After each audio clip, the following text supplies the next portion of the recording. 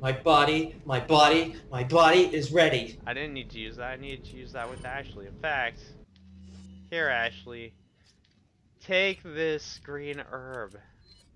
Actually, speaking of Jerry, I um I saw this um picture that someone painstakingly made of an overly realistic character select screen involving all the characters who are currently announced for Smash Bros. And then, right subtly at the top of the character select is Reggie. Reggie? Reggie's gonna be Yeah. in Smash Brothers? Reggie's gonna be in Smash Brothers. Oh yeah. Okay. Well, this. did you did you hear about him going on like Twitter and put in giving a link to like an online petition where he's just like, if this gets 10 million votes, I will be in Smash Bros. That's kind of messed up. I mean, All he's right. He's just doing it for fun because he knows that there's no way it'll get to 10 million. Question is, can I protect Ashley? No, shoot her in the back. Ashley, you've been useless the whole entire game. Just Ashley. Ashley, what you're doing now is what I could be doing now instead of you. Ashley, just just go away. What is she doing right She's now? uh, I had her operating the uh the crane, or the wrecking ball. The wrecking ball. Why did I call it crane? Oh, so it's my Bunny must die. Oh, Hatchet Man, why you have to be a jerk sometimes? Why can't we just be friends and go frolic in the meadows through Uh, a field of flowers? I think the second he open picked up a hatchet, I'm pretty sure the second he picked up a hatchet, that wasn't gonna happen. Yeah, he he declared war on Leon. Hatchet man. You can't also name this War on Leon anymore. You've already, you've already done a title like that. We're fucked. Uh, you mean Attack on Leon? Yeah. That was a reference to Attack on Titan. Oh my god, it was, and then I didn't catch the reference. I'm really bad at lying. I was hope. Well, I mean, if anyone was gonna capture it, I mean, I figure you would, because you're like, you're pretty much. Oh my God, you're still alive. I, is that what you were gonna say? Is that what about me that surprises you? No, no, I mean, like, if anyone was gonna know anything about anime, I, I figure it'd be you. You're pretty Yeah. much into anime like I am. Makes sense. Hmm. Did I miss anything? There's two guys behind me. Nope, I think we're good. Oh, now there's like five guys. I love that restaurant. Five guys? Five guys. They're everywhere. There's like three over here. Oh, weird fun fact, because the guy, you know the soda machine with the touch screen interface? Yeah, With like yeah, the four cajillion sodas in it? yeah. I got to see the guy who invented that give a speech at my school. Oh yeah. Yeah. He wasn't talking about it, he was talking about this other thing he invented that takes water and both uses steam for reusable energy and also filters the steam into a secondary bucket into clean drinking water for third world nations. That's actually pretty cool.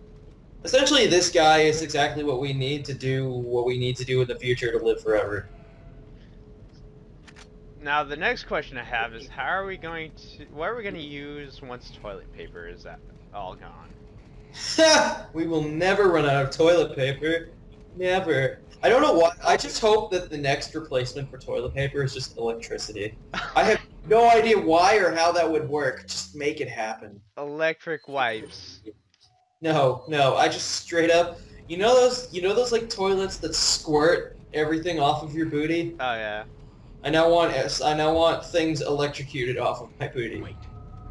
It'll be great. Man, that is just not really all that scary through a thermal scope, is it? He's just uh he's just exploding everywhere. Follow me. That's just not scary through a Well, thermal not to you. To you, it's scary through a thermal scope? Nah. Uh Nah. Nah, it's not really that scary through a thermal scope, but just through a thermal scope, he just seems further away. I mean the only thing that I see that's creepy is you see how it's all wiggling and stuff like that? Yeah. That's a little eerie to me. Is that... Well, you're a bitch? I, I don't know. Squirming kind of squirming kind of creeps me out a little bit. I wanna I wanna play a horror game so badly where every time you kill a monster and get out of a scary situation, it just plays awesome you won music. you solved the puzzle. You got out of that scary situation without peeing yourself. Move on to the next area where you have to fight another scary monster thing. There's, there are so many things in video games that need to get done. And I will I will make a couple of them if I can. All right, I, I would love to play those types of games. Honestly, I want to I want to play a scary game. I, not like Slender, not something that's more psychological. Oh, psycho psychology scary? Yeah. Mmm. Well, it, I have a game idea for a game, but it's not scary so much as it is a game I really want to make really badly. Alright, here, Ashley. Wait, no, I can still use that. Never mind. You don't no, get no. it, Ashley. Shut the fuck up, Ashley. Merchant Man! I will throw you into more garbage chutes. You will get pierced. You'll get your arm pierced so many I- I- times. I am just gonna throw you at a spiker dude, and you are fucked. Throw her iron, Iron Maid. I'm trying to think. When was the last time anyone did good psychological horror? I've seen I've seen environmental horror, ambiance horror, um, but I haven't seen psychological in a while. It's very difficult to do. Yeah, because it's it's kind of if you want to do it perfectly, you either have to come up with a way of of bro- of shrinking the audience, your broad audience's views on horror towards the character they're part they're a part of, or you have to find a broad way of investing your audience into horrors that you can then include into your game. Both of those are not easy. Silent Hill Homecoming, no, not Homecoming. What was the week? Homecoming. Silent Hill bullshit. Oh, uh, I know what you're talking about. Now I can't remember. Uh, the Wii one, we'll just say. The thir- um, one of the terrible third-party ones. The one that was all that had a lot of frigid areas for whatever reason. Had that fucking parrot puzzle. the viewers will never understand that. No, I just remembered that. I, I, wa- I can't uh, remember the last. Ugh. you were there for that. I was. I'm- I want to talk to tu- I want to talk to Pooky. Who the hell is Pooky? Who the fuck is Pooky? no, Tukey. Yeah, shut the fuck up. Do you think we should explain that a little bit? Okay, so Alpha was playing. Oh, Shattered Memories.